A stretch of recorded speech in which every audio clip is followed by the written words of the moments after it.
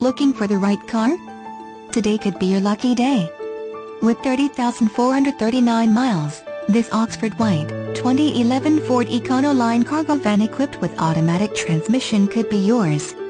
Request more information and set up a test drive right away.